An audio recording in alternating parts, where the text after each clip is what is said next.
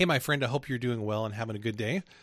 So, you've probably noticed that this episode is a little bit different than normal. Um, one thing that's different is that there's no intro music. And the reason for that is that my podcast producer always adds the music after I finish recording episodes, but she doesn't even know I'm doing this episode. I'm doing this here at the last second. I wasn't even going to do this episode, honestly, but I decided to go ahead and do it and share with you some things that I just sent out to my email list because I thought, well, maybe this would be an encouragement to you also. So that's one thing. I'm just doing this quick and dirty, and then I'm going to just post this and not worry about the editing and intro music and all that jazz. Um, the other thing is, this is actually going to be the last official episode of the Daily Writer podcast. And strangely enough, I've been doing this episode as a daily show for about three years, a little over three years at this point. And I was just going to switch over to the Profitable Writer podcast and not really do like an ending episode. But, you know, now that I've done like over, well over a thousand episodes of this show, uh, it kind of seems fitting that I should um, sort of maybe do a little tribute or do something to wrap it up in some kind of official way. I don't know. Uh, you know, I used to be a pastor and, um, you know, kind of once I was specifically, I was a music pastor. And once you're a music pastor, and you spend a pretty good chunk of your life. Uh, so from the time I was in high school until my late 30s, I was in charge of worship services either at my home church or in college or at the church where I used to work for many years or running college chapel services. And once you do that job, you just kind of get into this rhythm of always thinking about how to start things, how to end things, keeping things on time. You know, when you run you know hundreds or thousands of worship services in your life you just it's really hard to get out of that habit of thinking okay about transitions and making things smooth and wrapping things up and and that kind of a thing. So it's it's kind of funny to me that i hadn't really thought about how to wrap up this version of my podcast i guess. So one thing that you might not know and by, and i'll get to the main point of this episode here in a second but just permit, me, permit me a little trip down memory lane. So one thing that you might not know is that this is either the fifth or the sixth iteration of my podcast. So, for those of you who have thought about getting into podcasting, or you currently have a podcast and you might have wondered, you know, should I change the title or should I pivot or should I stick with this or whatever? Um, I've probably done everything wrong with my podcast. Uh, I've made every conceivable mistake there is to make with podcasting, probably. But at the same time, podcasting has absolutely changed my life. And I will go to my grave thinking that and shouting that from the rooftops because it's absolutely true podcasting has done so many wonderful things for my life. But one thing I have not done that a lot of people have done is I have not had the same show all these years. So I started podcasting sometime in 2013. So I've been doing this a little over 10 years at this point. I started off with a show called The Artist Suitcase. It was a show about creativity. I lasted 37 episodes and then I quit. And then a little while later, I picked it back up and I called it the Born to Create podcast. I was going to have a whole platform called Born to Create. I actually was working on a book for a couple years. Uh, called that. I got discouraged. I got sidetracked. I never actually finished the book. So if you have ever started a book but not finished it, uh, you're in good company. I've done that too. It's okay. Um, sometimes the point of working on a book is not to actually put that book out there. Sometimes the point of working on a book is just to get it out of your system. Uh, not every book that you start working on needs to be published. Sometimes it's okay just to scratch down some ideas and spend some time working on it, and that's all that that book was supposed to do in your life. Now, I don't think that you should always get into the habit of doing that. Obviously, we need to publish and monetize our books and all that stuff, but sometimes you just go down the road a little ways, and then you kind of figure out, you know, I I don't need to finish going down this road, and that's okay. So, anyway, I had uh, the Artist Suitcase show. I had the Born to Create show. Then that transitioned into a show called um what was the show called? It was called Smart Business Writing because um, I thought I was going to be doing a platform all about writing for business. That's kind of when I first got interested in ghostwriting back around 2019 or so. And then I transitioned to the current version of the show, which is called The Daily Writer, of course. And you're a listener of this show, of course. Otherwise, you wouldn't be here with me on this episode. So it's been the Daily Writer for about three years. And then um, about six months ago, something really unusual happened. Something unexpected and unusual. So let me give you a little background on this whole Daily Writer thing. So when I started the Daily Writer, I anticipated that this was I know this sounds kind of grandiose, and I'm sorry for that. I don't mean it to sound grandiose at all. But this, in, in some ways, was kind of like what my life had been building toward because I wanted to do a daily show. And actually, I already have written a draft of the Daily Writer book, which is uh, Daily Meditations for Writers. Uh, that's actually coming out next October. I forget the date, but that's coming out next October. That is going through rewrites and editing as we speak. I already have the cover design, and it's going to be a really fantastic book. Now, of course, I would say that because it's my book, but I legit think it's a really, really good book, and I think you're going to enjoy it when it comes out. So, anyway, I thought the Daily Writer was going to be like the thing that I was going to spend the next 10 to 15 years of my life really, really doing. So, because I had invested so much time in this podcast and building an email list and running a group that's called the Daily Writer Club, a membership group, which you've heard me talk about before. Um, the idea of stepping away from that or pivoting that to something else was really difficult for me to kind of get my head around. But it became clear to me. Uh, this was actually in a mastermind group I'm a part of. Somebody asked me this question and it really, really threw me for a loop. I don't know if you've ever had this situation where you're kind of trucking along in life and then somebody somebody very wise in your life asks you one question that makes you question everything that you've been doing up to that point. It's very disconcerting whenever that happens because at the same time you're grateful to that person, but at the same time you want to strangle them a little bit, um, or at least give them maybe a really tight hug or something. You kind of want to punish them because now they have kind of thrown your whole life into disarray because they've asked you a very wise or pointed or insightful question. And what this person basically asked me was actually, it wasn't even a question, it was more of a statement. They said, now that I think about it, sorry, I'm having a little brain freeze here. The context of the conversation was was that I was telling them, and I will get to the point of this, uh, the main point of this episode here in a second. Just hang with me.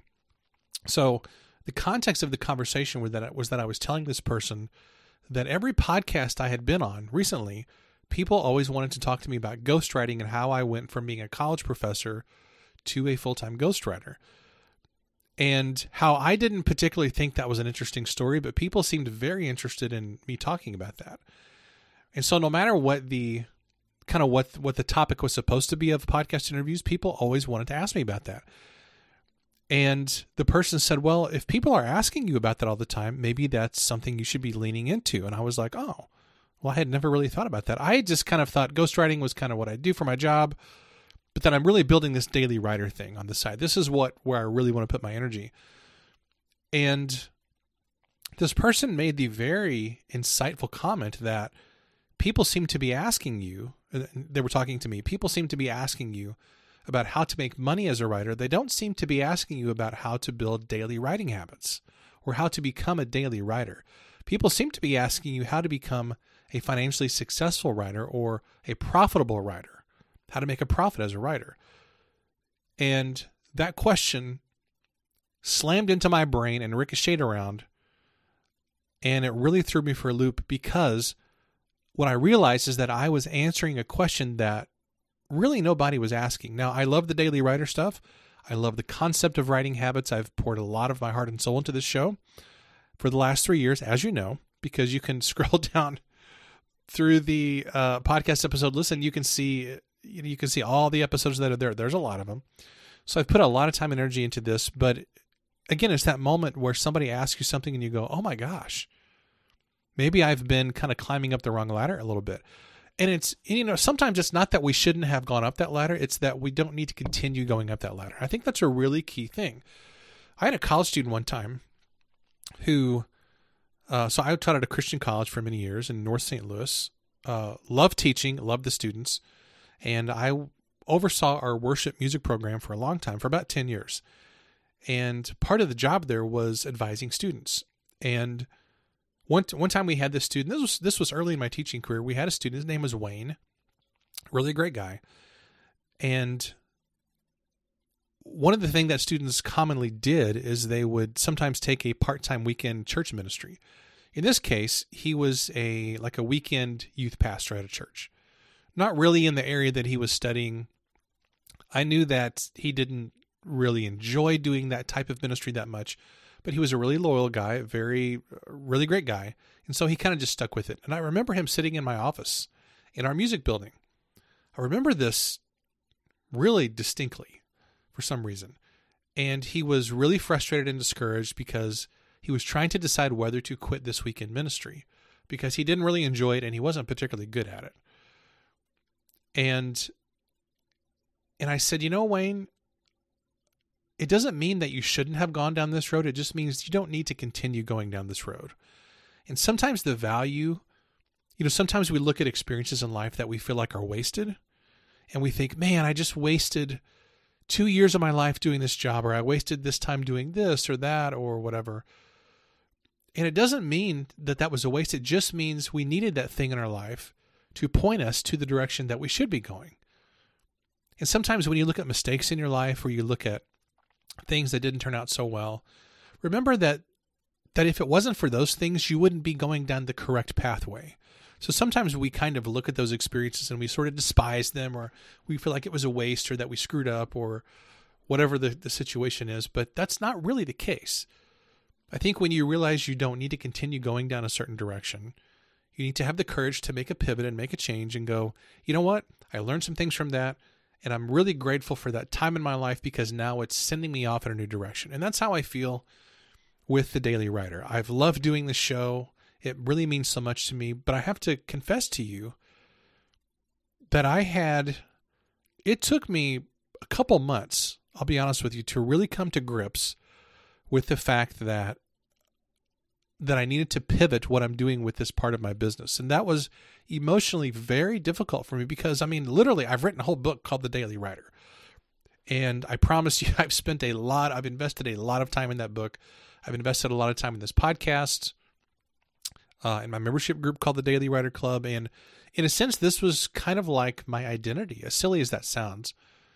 And I, I, it's not really my identity, of course, but when you spend so much time doing something and when it's your, your own creation, you kind of feel like, man, to to move on from this or to pivot this feels like I'm cutting off a part of myself that is kind of like my baby, you know. But I came to realize that I needed to make a pivot to helping writers specifically build a business around their writing because this was the pain point that people kept expressing to me.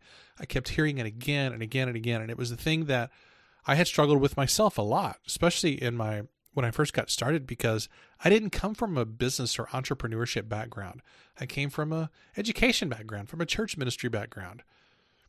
And I I was not really kind of prepared for what I what I would need to do as a as a business owner, an entrepreneur. I was really intimidated by that. And so it's dawned on me over the last few months that I really needed to pivot my business, this podcast, my membership group, future books, those kinds of things, that I needed to pivot to something that could very specifically help writers with the business of writing. Because the idea is um, you could be the greatest writer in the world and you can have the best habits.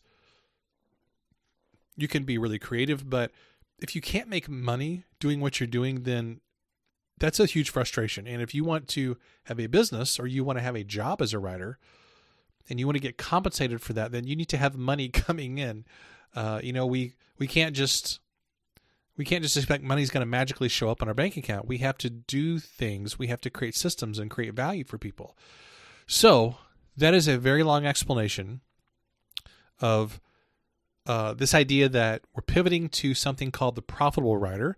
So this coming Tuesday, I will launch the first official episode of that podcast. Now, it's going to be in the same podcast feed but the title of the show will change to The Profitable Writer. It may not change on Tuesday because it depends on how fast Apple Podcast updates the listings and all that jazz. I'm also changing podcast hosts from Libsyn to Kajabi. Um, I've got a new website that's about ready to launch on Kajabi on that platform. So I've got a lot of tech changes behind the scenes happening. So it might take it a week or so to kind of repopulate on the the new platform and for Apple Podcast to change the title, of the artwork, and all that jazz. So, so just kind of be patient with me.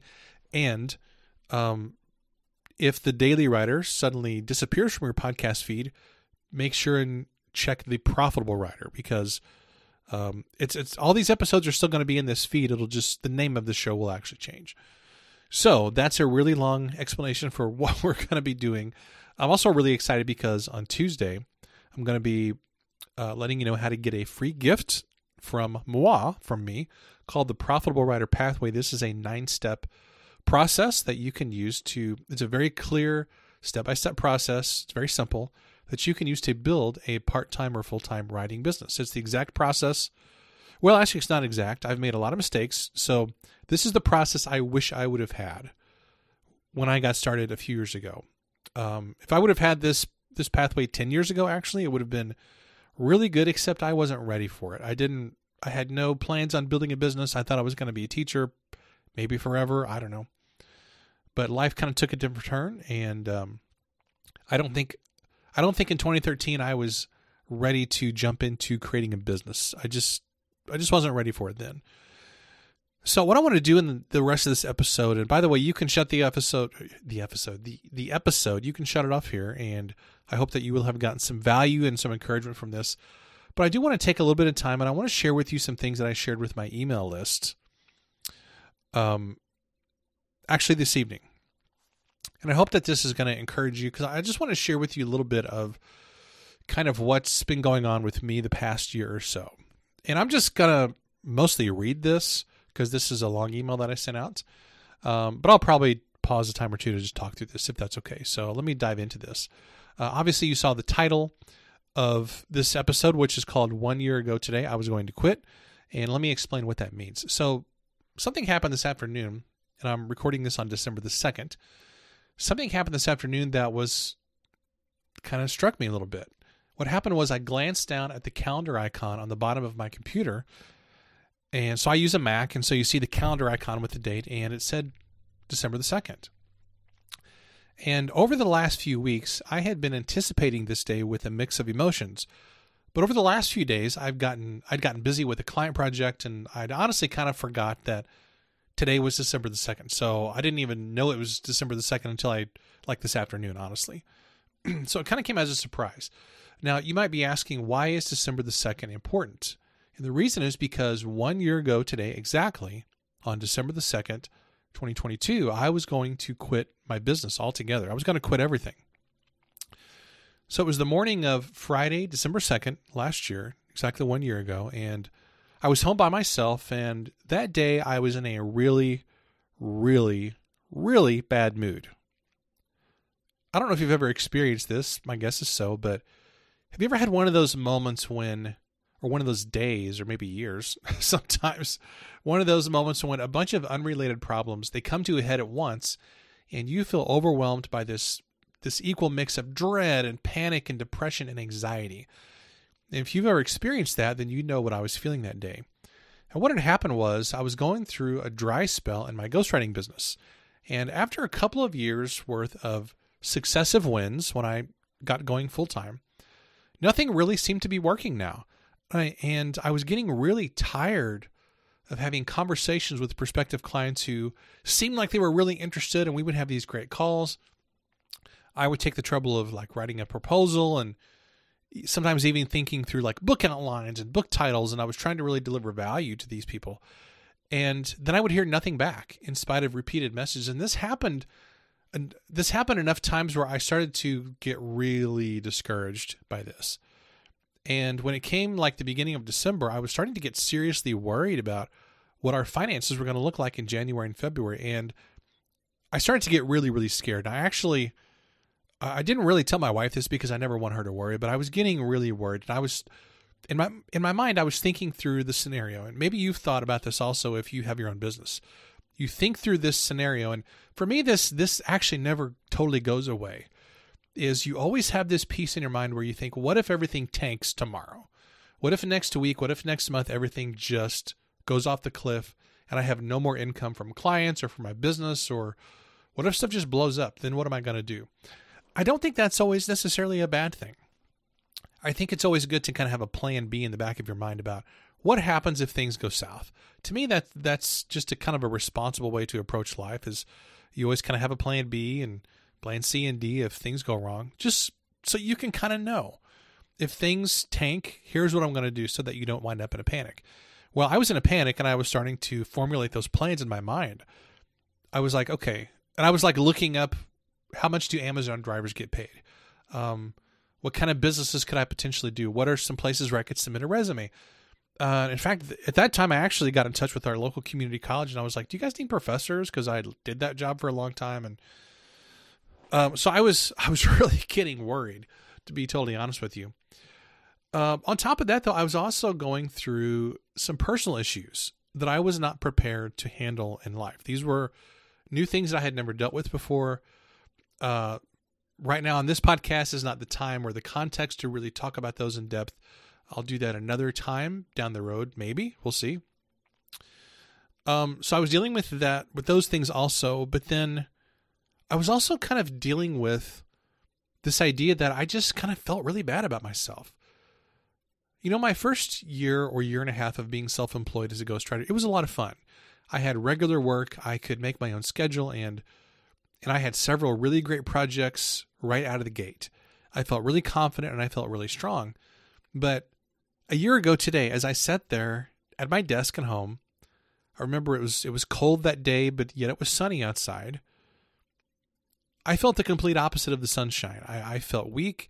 I felt discouraged. I felt incapable. And I thought, well, Kent, apparently you're not cut out for this. So I did I did what I do a lot of times whenever I'm feeling discouraged or I need to process, which is I open up my journaling app. And so I did that that day. I opened up my journaling app and I started to pour out my feelings. And after about 30 minutes of just like constant writing, you know how you know how it is. Like when you're upset, you just like write and you're amazed at how much you've written in a certain amount of time. And you're like, man, how come I can't write that much? Like whenever I really need to write something that other people are going to read. But for some reason, when you're journaling, you can and it just pours out of you. It's amazing how much stuff you can write so fast. So after about 30 minutes of doing that, it dawned on me that I hadn't confronted a really important question. Here's the question it's actually three questions. Had I really given this my best effort? Had I truly done my best? And was it true that I wasn't cut out for this, or was it really the case that I was just making excuses? And I had to admit to myself that I had a lot of room for improvement. I had a lot of room for more discipline and more tenacity and more stick to itiveness. And the truth was that I hadn't really given this business my best shot. I had been kind of coasting along, and now I was paying the price for not doing the proper kind of preparation and book marketing for my business and so forth. So, what I did is I made a deal with myself. And the deal was that I would let myself quit. I was going to quit the business, but only after one more year of really honest to goodness effort. And when I came to the next December the 2nd, December 2nd, 2023, which is today, the promise I made to myself was that if I did my best and if I really tried to make this work over the next year and things had not improved, then I would allow myself to quit and I would go do something else. The ghostwriting, the podcast, the membership, my own books, I would quit I would quit it all and I would just go get a job somewhere. Now today is December the 2nd, 2023 and maybe the question that's occurring to you as well, Kent, how did things turn out? Uh, did you turn things around and are things actually better? And today, exactly one year later, I'm really happy to report that things are really different than they were a year ago. I have a new energy and I have a new focus that wasn't there before. And my business is a lot better. I've also worked through a lot of those personal issues that I mentioned earlier, and I have a much better perspective on those those things. I have a much calm uh, I have a calmness and a peace that um that was not there before and no it has nothing to do with my marriage by the way um just because people always like assume like oh are you getting a divorce or did somebody cheat or like what's going on no, it has it was not a marriage thing it was a family thing but not a marriage thing at all uh, my wife is awesome and uh she is absolutely the rock that holds uh that holds me together uh, if something ever happened to her, I don't know how I would function because she's an amazing individual, an amazing woman, and I feel so blessed to have her in my life. Now, it wasn't wasn't just her though. Um, I've had a lot of help over the last year from key people who have really supported me. They've taught me and they've encouraged me, and they've also sent referrals my way too. By the way, that's important.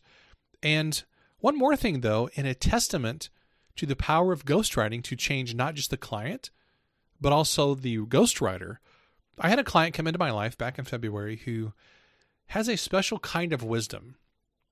And a really compelling story as well. So it's like the book is going to be great. I was really excited to work on this project, but this person had a special kind of wisdom that that really has helped me in my personal life as well. And I love working with clients like that. People that I can learn from and people who when we work together it makes me better. You know, it's not just something I do for my business or for income, but it's this person actually makes me a better human. I love that kind of a client and they have really been a, a breath of fresh air. And if you're listening to this, you know who you are. So here's the most important thing that happened, though, among all that. This is the thing that really changed. Excuse me. I'm not going to edit that out, by the way. I'm just going to leave that in there. Here's the thing that changed is I started to take responsibility for my own success. Now, for many years as a college professor, I went to a job that I'm just going to be totally honest with you it wasn't that hard of a job. I liked my job. I liked teaching. I enjoyed the people I worked with. Uh, there were some bad times, of course, as there are in any job where you work for 17 years. But as a whole, I really I didn't have that difficult of a job, uh, particularly in the last um, probably six or seven years. My job got easier every year because I enjoyed my classes more. My role actually shifted. Uh, I was less busy. I wasn't over our music program the last six or seven years that I worked there, which was a huge positive switch because uh, I wasn't over our chapel services and directing music adjuncts and doing all the stuff that keeps you so busy in a music program. So I liked my job and I got paid on a regular basis. You know, they paid us once a month. It wasn't a lot, but it was very predictable. Um, and after I quit that job, I was kind of riding a wave because I had several book projects that came right out of the gate and as dumb as this sounds, this sounds really stupid coming out of my mouth. As dumb as this sounds, admitting this here on a public podcast, it never really occurred to me that I needed to be more assertive about getting clients. I know that sounds crazy. But because I had some early successes and early wins, I just kind of thought they would just keep coming. Again, remember, I didn't come from a business background. This did not really occur to me. I had worked a job for a long time where you show up to class and students are just there. I didn't have to go recruit students. I didn't have to go get business. I just did my job of teaching and creating content and showing up to class and going to meetings, and that was that. And I kind of took that same dynamic, mistakenly so, I took that same dynamic into my ghostwriting business. I kind of thought, you know, I just kind of clients come to me, they are sent by referral or they know I'm doing this and they will just kind of come and then I do the work and that's that. Obviously, that was a very naive and mistaken assumption, but that's that's what my thinking was. And I quickly learned that I needed to be a lot more proactive with sales and marketing my business and networking and all those things that we all need to be doing when we're building a business, but I just didn't really know it at the time. Now, the funny part of the funny part of this is that a few months earlier, I had actually released a book called 18 Words to Live By, A Father's Wisdom on What Matters Most. Maybe you've heard of it, maybe you haven't. But I released that. And guess what the first chapter of that book was about? The very first chapter of the book was on taking responsibility. So I hadn't even been following my own stinking advice. I mean, how crazy is that? So what I did is I started to take responsibility for my own success. And I started to act like an adult and begin to deal with my problems one by one. And change didn't happen overnight because I still had a lot of growing to do. And I still have got a lot of growing to do. But let me just let me just be really honest with you. Like last December was um because I don't want you know sometimes you hear these stories like of how things turned around and people sort of gloss over the really the parts that make them look bad. Um, but I just want to be honest with you. Last December was a really rough month for me.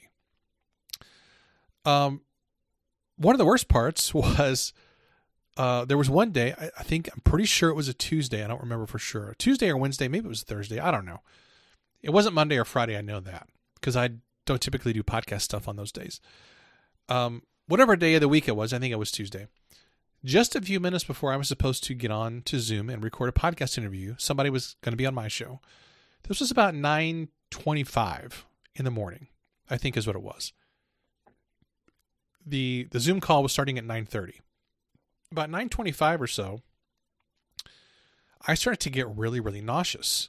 And I don't know if you've ever had that experience where the nausea just seems to come from nowhere and it overtakes you like a gigantic wave. And within a matter of seconds, and I'm not exaggerating, within a matter of seconds, I was nauseous. My ears started ringing so loud that I couldn't hear anything. I felt like my heart was beating out of my chest.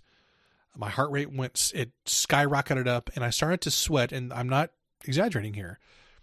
I started to sweat so profusely that it was literally dripping off of me. And I had never had that happen to me before. And I thought, I'm having a heart attack and I'm going to die.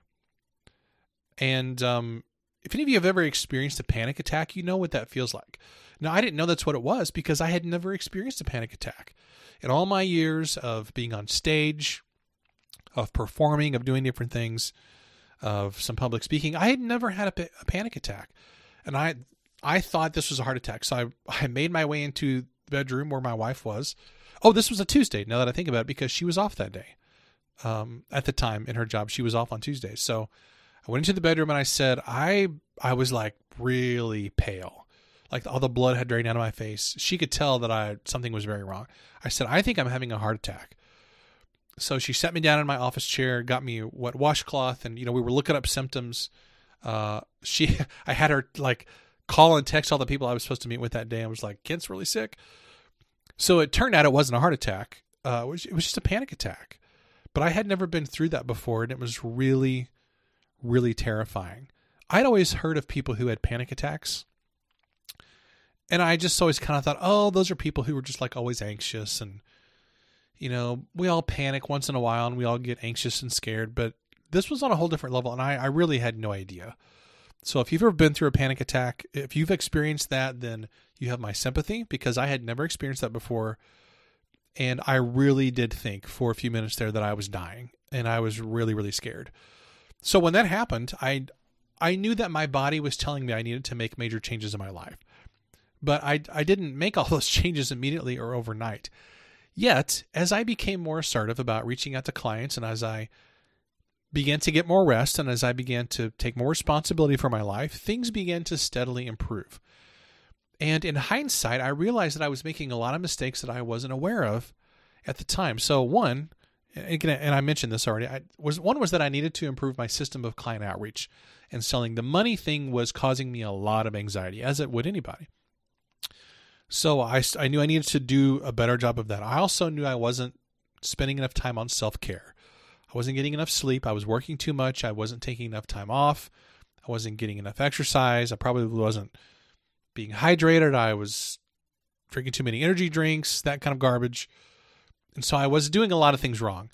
And I also didn't realize it. Now, I know this at the time, but uh, I didn't realize at the time that I was going through the postpartum blues that authors oftentimes face when you have a big release that comes out. And for the the previous year, I had been looking forward to the release of the book, The Faith of Elvis, which some of you have heard of and maybe read. It's called The Faith of Elvis: A Story Only a Brother Can Tell. And I wrote that with uh, Billy Stanley, who is Elvis Presley's brother. And that was my first book with a big publisher. And I mistakenly assumed that when that book came out, it was going to mean a flood of new ghostwriting clients. But my assumptions were way off base because when the clients didn't magically materialize, it really knocked me for a loop. Now, I was really proud of the book. The book was getting awesome reviews. I, right now, it's like well over 400 reviews on Amazon, which is awesome. It was really fun working on the book. But I had mistakenly assumed that just because I had a major release coming out there and that you could find this book in Barnes and Noble and whatnot, I just assumed that, oh, they're going to see my name in the book and I'm going to have all these prospective ghostwriting clients come to me. Maybe some of them will be celebrities and whatnot. Well, I was grossly mistaken. I just had no idea. I hadn't been around the block enough to know that it doesn't really work that way always. So, as you hear me tell this story, you might be thinking, Kent, like, gee whiz, what's your deal? You were really in La La Land there for a while. And you know what? If you are thinking that, you might be right. You wouldn't be wrong because I was in La La Land there for a while. And the truth is that I've had to do a lot of growing the last couple of years because I've learned some hard lessons. So, why am I telling you this here in this podcast episode that's already over 34 minutes at this point? why am I telling you this? Well, there's a couple of reasons. First of all, I think it's really healthy for people with platforms. Now, by platform, I mean people who have podcasts, books, email newsletters, so forth. I think it's healthy for people with platforms to just come out and tell the honest to God truth once in a while. And the truth is that we're all struggling in some ways, and nobody really has their crap together all the time. And the face that we put forth to the world through our books and podcasts and emails, it it sometimes disguises the fact that we're all just kind of figuring this out. And I don't have any illusions that I'm like all that. You know, sometimes when you see people who've got a, a podcast or they have books in a bookstore or they've got a business of some kind, it's easy to think that they know something that you don't, that they somehow have, have access to some kind of secrets that that have been kept from you and that you don't know. And you know, certainly there's wisdom that people have and knowledge that they have. It's usually we can find it in their books and podcasts or masterminds or whatever. But I've got to admit that um, I find it really refreshing when people who I respect just come out and admit once in a while that they're going through a rough patch or they screwed up or they messed something up, but they're just trying to do better. I find that really, really refreshing. And I hope that you do too, because that's kind of what I'm doing here. I'm telling you kind of a lot of things that I have screwed up the last couple years, but how I have tried to address those things and do better. Because I think that's just the honest to God truth of when people have a business. We all mess up, we all make mistakes. So why not just come out and admit it once in a while? Now, the second reason that I wanted to share all this with you, and this is really much more of an important thing, this has to do with you, not with me. Second is for those of you who are listening who are going through a rough patch of some kind, I want to challenge you with this give it a year. I want you to give it a year. I want you to commit to working through your problems and confronting the things that you've been avoiding in your life and in your writing and in your business. Things are not going to get better if you just keep running away. It takes time to make changes. It takes time to develop better systems in your business. Trust me, I know. It's taken me it's taken me a while to get the ship turned around. And it takes time to make things better in your relationships with with your kids or with your spouse or with your parents or with friends or whatever. And if it feels like committing to a year is an eternity, then I want you to commit to a week or commit to a month, but commit to some kind of time frame that you're not going to quit. You're going to stick it out. You're going to try. You're going to give it your absolute best effort. Because trust me, sitting around and feeling bad about yourself and criticizing yourself is not going to make anything better. What does make things better is for you to stop being a passive observer of your own life and for you to do something to actually make your situation better. Now, let me give you some counterintuitive um, advice, if you will permit me to. Nobody likes unsolicited advice. I guess that's what I'm doing here. I guess in a sense that's what every podcast is. It's like unsolicited advice in some sense, but I want to ask your permission to do that first. Obviously, I can't hear you, but I kind of want I want to make sure that you understand that I, I'm not just giving you advice just to preach at you, but I want to tell you something that I think is going to be really helpful.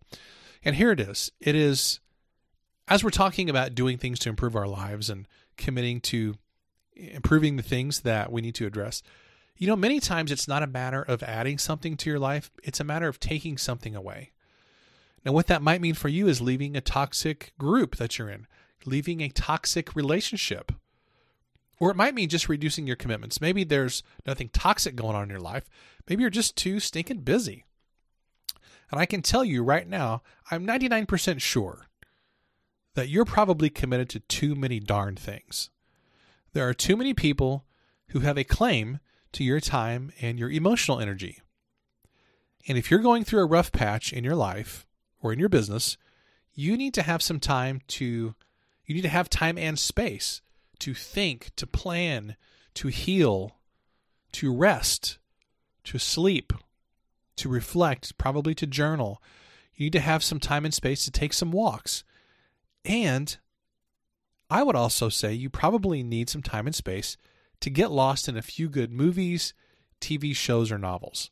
And I think it's funny how oftentimes a good story, no matter what form it takes, a good story can give you the healing that you didn't even know you needed. That's one of the reasons that we have stories. Is we find ourselves, we, we lose ourselves and we find ourselves in stories. So I would encourage you to stop doing all the stuff that other people want you to do. Learn to say no to things because your own mental and emotional well being is at stake. I promise if you say no to something, the world's going to keep on turning, things are going to keep on running, and the world will go on without you having to do everything for everybody. Well, I hope that you can see my heart and uh, how I want the best for you. I really, really do. You know, a year ago, literally a year ago today, on December the 2nd, I was really struggling to see the best of myself. And and I was you know, it's it's like it's hard when you have a podcast and when you when you're trying to be a good ghostwriter and you're trying to be a good advisor to your clients and when people are coming to you for advice and and you're perceived as uh, this person who has expertise in something that's hard because you don't feel like you can always share what's going on in your life and i don't think i'm not saying that we should all go around and always be talking about things that are bothering us or what's going wrong Nobody likes a negative person like that. And I don't think it's always healthy to be airing your dirty laundry anyway. That's not a good dynamic to set, particularly if you're trying to establish yourself as a professional. However, that being said, I do think it's okay to say, you know what, I'm not perfect. And I think um, it's okay to just to say once in a while, you know what, I made a mistake, but I'm trying to do better. I'm trying to clean up my messes. I'm trying to become a more mature person. I'm trying to trying to improve in some areas where I'm lacking, and it's okay to ask for help. So, what I did last December, the 2nd, is I decided to stick it out. I made a commitment that I would not quit. I was really going to put in a good effort. Now, have, have I put in 100% effort every day? Of course I haven't. Have there been days where I have not done a good job at all? Of course there have. Have I messed up in the last year? Too many times to count, of course. But for the most part, I've stuck it out. I decided to give it a true effort and I've got to be honest with you, I'm really, really grateful for the problems that I've had the last couple years in my life and business because I have learned from those problems and I've I've learned to be more brave and confront the things that I was afraid of. I, am a better writer today. I'm a better business owner. I have a more profitable business today than I did a year ago. Uh, things have turned around quite a bit, and I hope that I'm a better friend and human being because I've had to work through those problems. You don't get better when you just have success. Like, success doesn't make you a better person. I think if you have too long of a string of success without making some mistakes, you're probably not taking enough risks. And I also think if you have too many wins in a row without something not going well, um, we can get a little bit deceived into thinking we're all that and we're great and we're awesome about everything that we do. And that's not usually the case. I think mistakes mistakes are the places where we learn and where we learn to pivot and we learn some things about ourselves and we grow. We grow from mistakes in a way that we don't grow from success. Those challenges are what's going to keep you sharp. So it's what's going to make you better. So I hope that you can look at your challenges in your life and your business right now.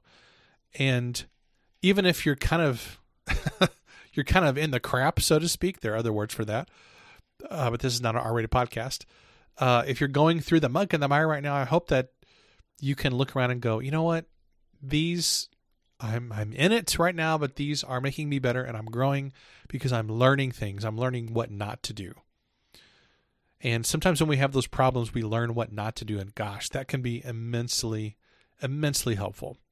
Well, I want the same thing for you too. I want I want you to be able to look back in a month or 6 months or a year from now on December the 2nd, 2024 and I want you to be able to go, you know what? I'm a better writer. I'm a more profitable writer. I'm more successful and I'm stronger and I'm wiser. I'm better at my craft than I was a year ago because of what I've had to face and overcome in the last year. So don't despise those problems. You need to run toward those problems and face them head on. Or maybe you just need to run away from those problems and get out of a situation that you're in. Sometimes that's the case too. Uh, the last thing I want to mention uh, is um, I just want to circle back to the theme from the beginning, which is the profitable writer. So again, this is the final official, I guess, episode of the Daily Writer podcast. And next Tuesday or so, depending on the cooperation of Apple Podcasts and other things, um, you will be able to see the Profitable Writer podcast, the Daily Writer podcast, will cease to exist in its current form, and that will pivot to the Profitable Writer podcast. Uh, again, all these episodes will still be in the archive. They'll be right there in the podcast feed, so you can go back and listen to whatever you want. And uh, I just want to say thank you for listening to this show. It really, really means the world to me that you've, well, means the world that you've spent uh, like 45 minutes at this point listening to me yammer on, and I hope that I hope that this has been helpful to you on some level. I really do, and and God bless you for sticking with me for these 45 minutes and listening to these stories. I really do hope that uh, this has been helpful for some level. So, thank you so much for listening, and I will see you next time for the Profitable Writer podcast.